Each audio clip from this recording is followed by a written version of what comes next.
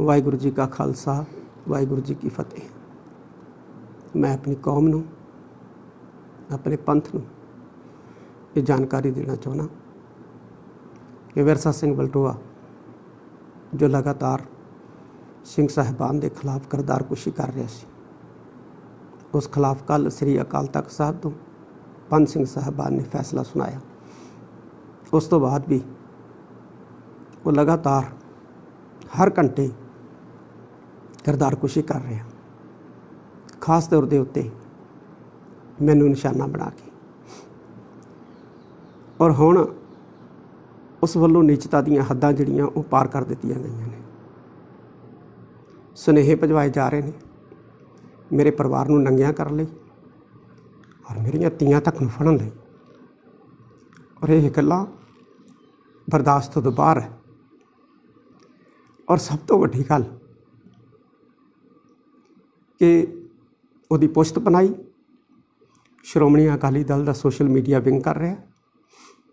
ਔਰ ਸ਼੍ਰੋਮਣੀ ਅਕਾਲੀ ਦਲ ਦੇ ਉਹ ਲੀਡਰ, ਜਿਨ੍ਹਾਂ ਨੂੰ ਟੋਨੀ ਟੋਨੀ ਕਿਹਾ ਜਾਂਦਾ, ਜਿਨ੍ਹਾਂ ਨੂੰ ਪੰਥਕ ਪਰੰਪਰਾਵਾਂ, ਮਰਿਆਦਾਵਾਂ ਦਾ ਉੱਕਾ ਗਿਆਨ ਨਹੀਂ ਹੈ, ਉਹ ਉਹਦੀ ਪੁਸ਼ਤ ਬਣਾਈ ਕਰ ਰਿਹਾ ਵਿਰਸੇ ਬਲਟੋਏ ਤੋਂ ਕੋਈ ਅਸੀਂ ਡਰਨ ਵਾਲੇ ਨਹੀਂ ਹੈ।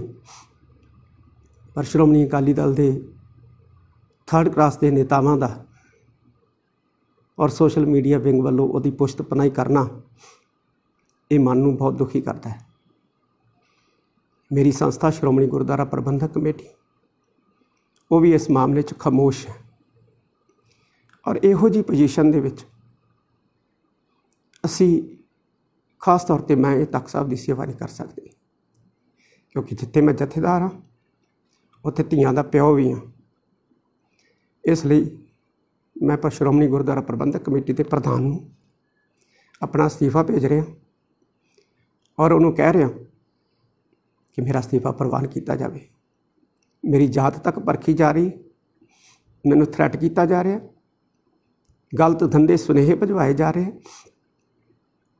ਔਰ ਇਹ ਨਿਚਤਾ ਦੀਆਂ ਹੱਦਾਂ ਪਾਰ ਕਰਨੀਆਂ ਇੰਨਾ ਘਟੀਆ, ਇੰਨਾ ਥੱਲੇ ਵਿਰਸਾ ਸਿੰਘ ਗਿਰੂਗਾ ਕਦੇ ਸੋਚਿਆ ਨਹੀਂ ਸੀ।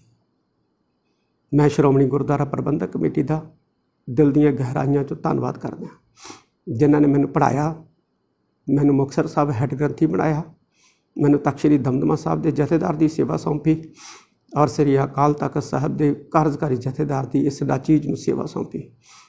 ਸਿੱਖ ਸੰਪਰਦਾਵਾਂ, ਜਥੇਬੰਦੀਆਂ, ਧਾਰਮਿਕ ਸਭਾ ਸੁਸਾਇਟੀਆਂ ਨੇ ਮੇਰੇ ਸਿਰ ਤੇ ਪੱਗ ਰੱਖੀ ਔਰ ਮੈਂ ਉਹਨਾਂ ਨੂੰ ਇਹ ਮਾਣ ਦੇ ਨਾਲ ਕਹਿਣਾ ਕਿ ਤੁਹਾਡੀ ਰੱਖੀ ਪੱਗ ਨੂੰ ਮੈਂ ਬੇਦਾਗ ਆਪਣੇ ਘਰ ਲੈ ਕੇ ਜਾ ਰਿਹਾ, ਇਹਨੂੰ ਦਾਗ ਨਹੀਂ ਲੱਗਣ ਦਿੱਤਾ। ਜਦੋਂ ਮੇਰੇ ਤੇ ਬੀਜੇਪੀ ਤੇ ਆਰਐਸਐਸ ਦੇ ਦੱਲੇ ਵਰਗੇ ਇਲਜ਼ਾਮ ਲਾਉਣ ਦਾ ਜਿਹੜਾ ਨਾਪਾਕ ਕੋਸ਼ਿਸ਼ ਉਹਦੀ ਅਸਫਲ ਰਹੀ ਤੇ ਹੁਣ ਉਹ ਘਟੀਆ ਦਰਜੇ ਦੀਆਂ ਹਰਕਤਾਂ ਜਿਹੜੀਆਂ ਉਹ ਕਰ ਰਿਹਾ। ਬਸ ਮੈਂ ਆਪਣੀ ਕੌਮ ਨੂੰ ਜਾਣਕਾਰੀ ਦੇਣੀ ਸੀ ਔਰ ਮੈਂ ਆਪਣੀ ਕੌਮ ਤੋਂ ਮਾਫੀ ਮੰਗਦਾ ਇਸ ਸੇਵਾ ਦੌਰਾਨ ਜੇ ਕਿਤੇ ਮੇਥੋਂ ਕੋਈ ਗਲਤੀ ਹੋਈ ਹੋਵੇ, ਮੇਥੋਂ ਕੋਈ ਕਿਸੇ ਪ੍ਰਤੀ ਮਾੜਾ ਲਫ਼ਜ਼ ਬੋਲਿਆ ਹੋਵੇ, ਮੈਂ ਖਿਮਾ ਦਾ ਚਾਚਕ ਹਾਂ। ਸ਼੍ਰੋਮਣੀ ਗੁਰਦੁਆਰਾ ਪ੍ਰਬੰਧਕ ਕਮੇਟੀ ਮੇਰੀ ਸੰਸਥਾ ਹੈ। ਮੈਂ ਆਪਣੀ ਸੰਸਥਾ ਦਾ ਹਮੇਸ਼ਾ ਵਫਾਦਾਰ ਰਹੂੰਗਾ। ਵਾਹਿਗੁਰੂ ਜੀ ਕਾ ਖਾਲਸਾ, ਵਾਹਿਗੁਰੂ ਜੀ ਕੀ ਫਤਿਹ।